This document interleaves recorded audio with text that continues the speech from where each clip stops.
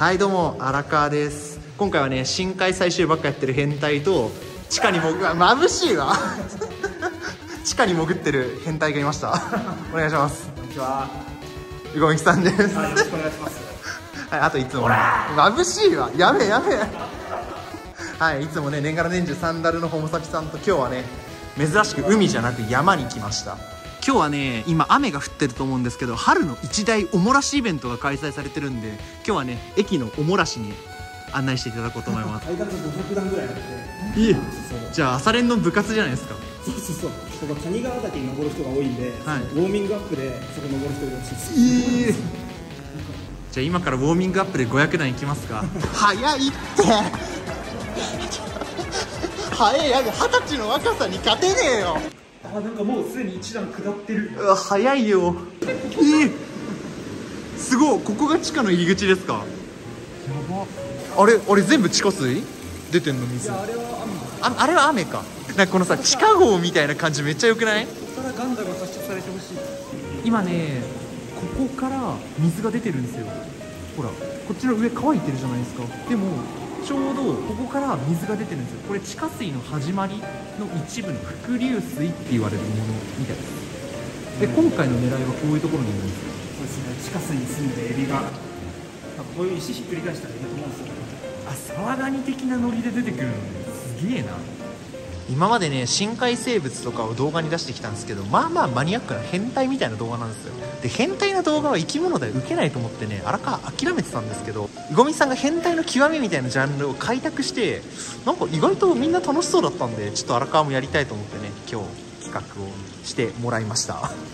野崎さん。地下にクラゲいるの知ってます淡水の地下の井戸とかでクラゲが見つかった例があって日本で1回とか2回しか見つかってないやつがザラにいるんですよ。名前忘れた。まあこういうさすがに流水域では見られないと思うんですけどいっぱい井戸みたいに溜まってる場所では真水クラゲって呼ばれる井戸とか淡水域で生き延びる謎のクラゲがいてそれをね人生で1回取ってみたいんですよでその真水クラゲってまあ日本で1回しか見つかってなくてその井戸が枯れちゃったり戦争でなくなっちゃったのかな。でそれ以降1回も発見されてないとかがあるんでね。ロマンの塊です地下は。えー絶対スキースノボのレンタルのところで匂う香りがするんですよ。絶妙に湿気のある匂い。現代文明の電車の音がしますね。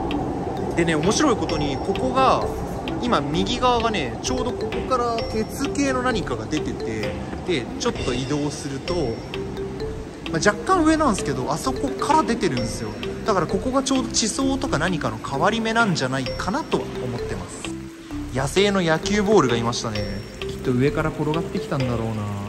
えなになになにスマホ置いたらさ、うん。シャーってウォータースライダーみたいにあの最下層まで行くんじゃないえおもろいっすねちょっとやってくださいよ浜崎さんどっから漏れてるんだこのさ、あれじゃないパネルの隙間じゃないえ違うこれじゃない？このこのさ点々点みたいなところさ。ここの下じゃない？なんか水溜まってるやん。うん。だこの下が楽園になっててこれはみ出てる液漏れです。ねそういうこと？そういうことか。でもこの下はさすがに何がいても見つからないっすよ。剥がしたいっすねこれ。さてそろそろゴールがやってまいりました。ここのゴールで何メートルぐらいなんですかごみさん地下70メートルですかね深っここはねモグラ駅って呼ばれる日本で一番深いトンネルの駅ですね。地下の駅ですね。すごくない待ってここここすごくない？えゴールじゃんゴール。ええちょっと。絶対絶対いるって。これはいますね熱い。横エビ。寝てない横にいますねさっきまでの予約禁止だったんですけどこれ急に解禁されてます。しかもたまる形状なんで。絶対なんかいますよね。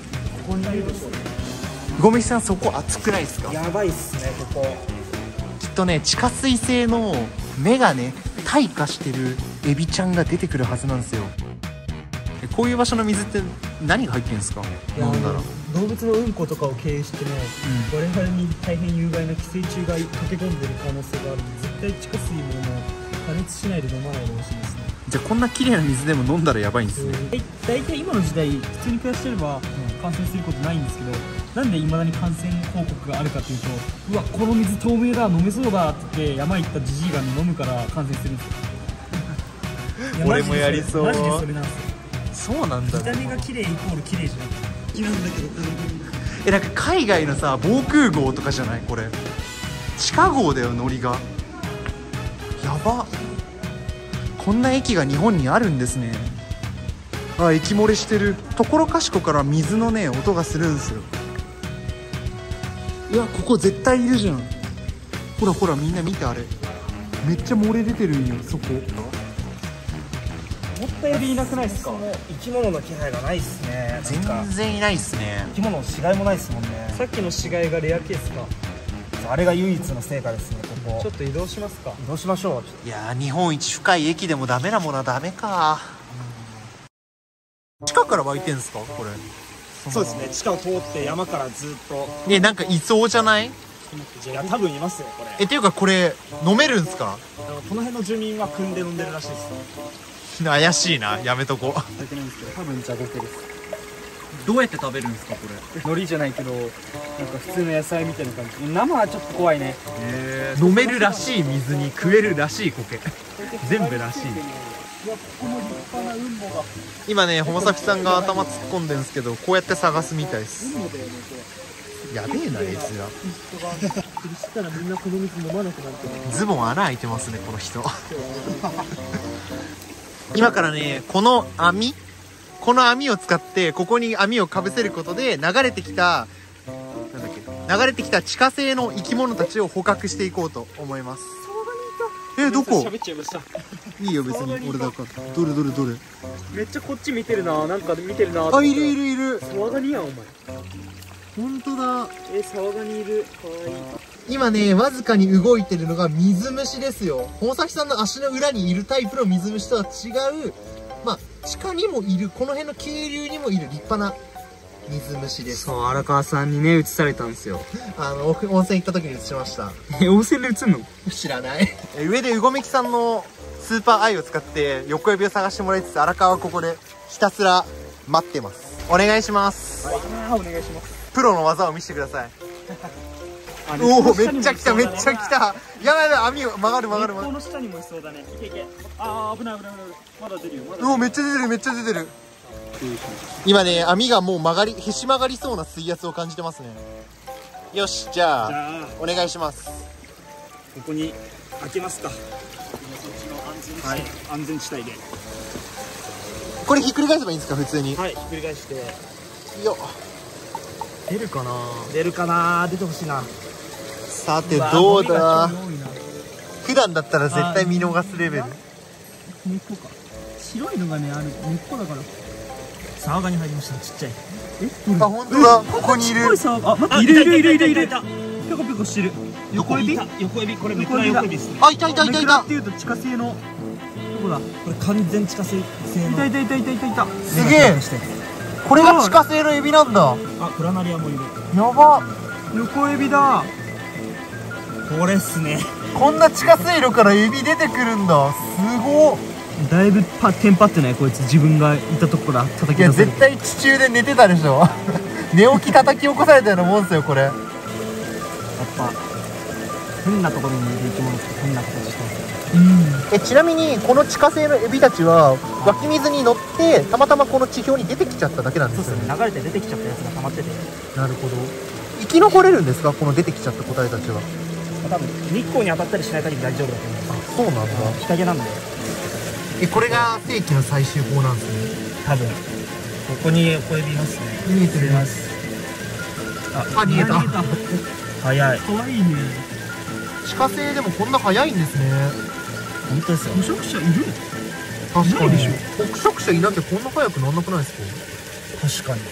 いやでも多分いるんだろうまだまだ見ぬ何かいるんじゃないですか天敵が。なおおすごい。これ左のが水虫でこの今真ん中泳いでるのがネクラ。ネクラ横エビです。ネクラ横エビでこれが違う種類ですよね。これが多分小島地下横エビの方ですね。地下横エビうーん違いがギリ iPhone でわかるかな？はいこの奥の方をやってないんでまだあんまり。確かに。まだ奥の方やってない奥の方行きましょう。赤さこれ持っててもらって。いい OK です。じゃあ俺が押さえてるんで魚木さん奥お願いします。そこにいるからこうまず苔これを剥がさないといけない。剥がして。おーやばっすいやつ。すげえ勢いで流れてる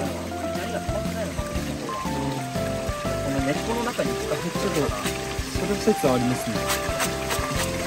出てこい未知の魚。魚出たらやべえよ。なんか石石か魚出たらとりあえずね新種確定なんで。OK です。よっ。おおさっきよりゴミが多いということは多分それに付着してるやつもね。いい生き物がねついてる可能性ありますからね十分。はい、ということで今回の動画いかがだったでしょうか？概要欄からホモサピさんとうごめきさんのチャンネルそれぞれ登録してみてください。これからも荒川チャンネルでは神秘的な生き物を探したり、でっかい生き物をガンガン捕まえていこうと思います。チャンネル登録、高評価、コメントよろしくお願いします。それではまた次の動画で会いましょう。バイバーイ。